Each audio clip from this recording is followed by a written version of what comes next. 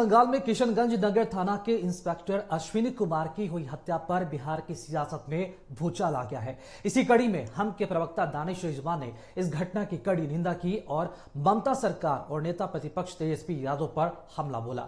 उन्होंने कहा कि तेजस्वी यादव ने बंगाल जाकर ममता बनर्जी के लिए चुनावी प्रचार किए, लेकिन सरकार की तारीफ़ की, लेकिन इंस्पेक्टर की हत्या पर मौन क्यों? बताते चले कि अपराधों के धरपकड़ में किशनगंज से लगी बिहार और पश्चिम बंगाल की सीमा पर इंस्पेक्टर अश्विनी कुमार को भीड़ ने घेर कर मार डाला।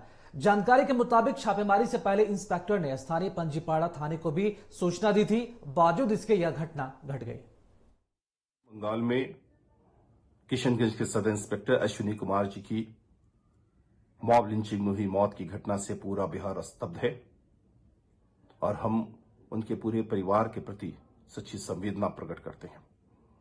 लेकिन नेता प्रतिपक्ष तेजस्वी यादव जी से ये सवाल भी पूछना चाहते हैं कि अभी कुछ दिन पहले आप पश्चिम बंगाल में जाकर के ममता दीदी के सुशासन की तारीफ़ कर रहे थे।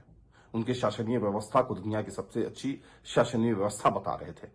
मैं तेजस्वी यादव जी से पूछना चाहता हूँ कि नेता प्रतिपक्ष तेजस्वी यादव जी, अगर किसी एनडीए शासित प्रदेश में मॉब लिंचिंग की घटना में किसी की मौत होती है तो आप बड़ी बड़ी बातें करने लगते हैं।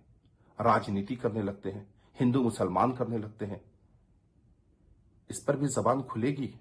और आप बोलिएगा कि ममता दीदी के शासन में मॉब लिंचिंग में जब वर्दीधारी सुरक्षित नहीं है तो आम लोगों की क्या? वहीं पश्चिम बंगाल में बिहार के सब इंस्पेक्टर के हत्या मामले पर आरजेडी प्रवक्ता मृत्युंजय तिवारी ने दुख जताया और कहा कि इस मामले की जाँच होनी चाहिए कि बिहार के पुलिस इंस्पेक्टर कब और क्यों पश्चिम बंगाल गए थे। एसएचओ का जिस तरह से हत्या हुई है, प्रथम दृष्टिया ये मॉब लिंचिंग का मामला प्रतीत होता है। वो किसी मामले को लेकर के बंगाल गए थे और उसी में पीट पीट कर लोगों ने घेर कर उनकी हत्या कर दी। किन कारणों से हत्या हुई है, अभी इसका पता नहीं चल पा रहा है। तो हम सरकार से मांग करते हैं कि इसका जाँच करके पता सरकार करे, ये बहुत ही दुखद घटना है, निंदनीय है, अफसोसजनक है कि एक एसएचओ की हत्या इस तरह से हो रही है। और सरकार को अविलंब इस मामले की जाँच करके दूध का दूध और पानी का पानी करना चाहिए, बताना चाहिए कि किन कारणों से उनकी जान गई है। अगली खबर की ओर बढ़ेंगे। मधुबनी हत्याकांड के बाद शुक्रवार को करनी सेना के उत्पाद ने इलाके में सामाजिक तनाव बढ़ा दिया। करनी सेना के समर्थकों ने आरोपी के गाँव पर हमला कर दिया। लोगों से मारपीट के बाद आरोपी के घर में आग लगा दी गई। करनी सेना ने हमले के दौरान वहाँ तैनात पुलिस के जवान और अधिकारी भी गाँव छोड़कर भाग खड़े हुए।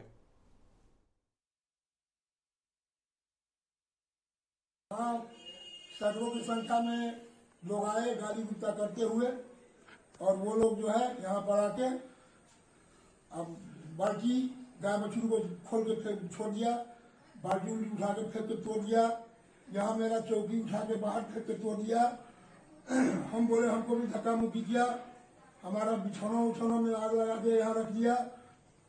इसके बाद जिस घर में हम भूसा फांसी रखते थे, जो घर दूसरे आदमी का, चंद्रशेखर मिश्रा का है, गाँव, ग्रामीण का उसमें आग लगा दिया। आग कैसे लगी है तो हमें जानकारी नहीं है, लेकिन हम लोगों को एसडीओ साहब के द्वारा सूचना प्राप्त हुआ कि भोला सिंह के घर में आग जमी हो गई है, आग लग गई है। सूचना पाकर एक यूनिट मेरा पहले से यहाँ प्रतिनियुक्त और छोटी गाड़ी से नहीं होने के कारण फिर बड़ी गाड़ी हम लोग लेके आए तो मेरा दो दो तीन तीन सरायकेला, खरसावा ज़िले के ईचागढ़ थाना क्षेत्र में जंगली हाथियों का आतंक थमने का नाम नहीं ले रहा है। आए दिन हाथियों के झुंड घरों, खेत में लगे फ़सलों और जान माल को नुकसान पहुंचाते रहते हैं। गुरुवार की रात झुंड से बिछड़े एक हाथी ने मैसाड़ा गाँव में जमकर उत्पात मचाया। हाथी ने गाँव के दो लोगों के घर को पूरी तरह से क्षतिग्रस्त कर दिया। साथ ही घर में रखे अनाज को भी चढ़ कर गए।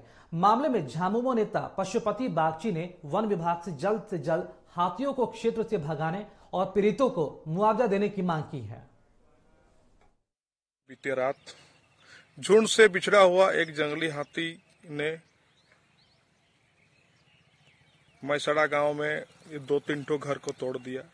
घर में रखा हुआ अलमारी, गोदरेज और बहुत सारा सामान क्षतिग्रस्त हो गया। वन विभाग से इसका मुआवजा का लेकर हम लोग प्रशासन से मांग भी किए हैं।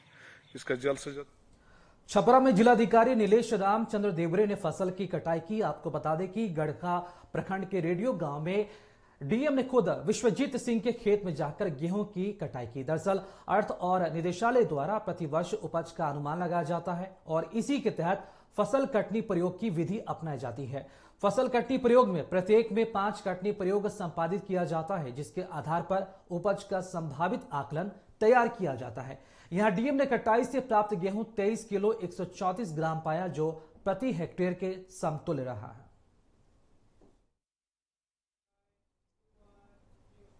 लातेहार के बालूमात स्थित वन विभाग के अधिकारियों ने शुक्रवार को दो मुँह वाले सांप को जंगल में छोड़ दिया। आपको बता दें कि यह सांप बालूमात प्रखंड मुख्यालय के दिवाकर नगर मोहल्ले में मिला था, जिसे स्थानीय लोगों ने वन विभाग को सौंप दिया था।